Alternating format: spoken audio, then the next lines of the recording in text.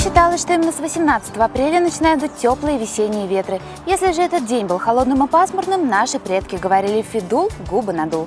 Запасайтесь зонтиками и дождевиками, друзья. Синоптики обещают нам 18 апреля дожди и всего плюс 9, плюс 12. Ночью до плюс 7. Ветер юго-восточный до 3 метров в секунду. Атмосферное давление 743 миллиметра ртутного столба. В Нижнем Новгороде также сохранится дождливая погода плюс 7, плюс 9. Ночью до плюс 5. Ветер восточный до 5 метров в секунду.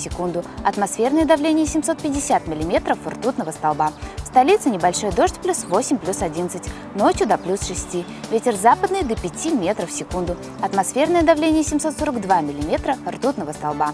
И помните, какой бы ни была погода, она всегда по-своему прекрасна.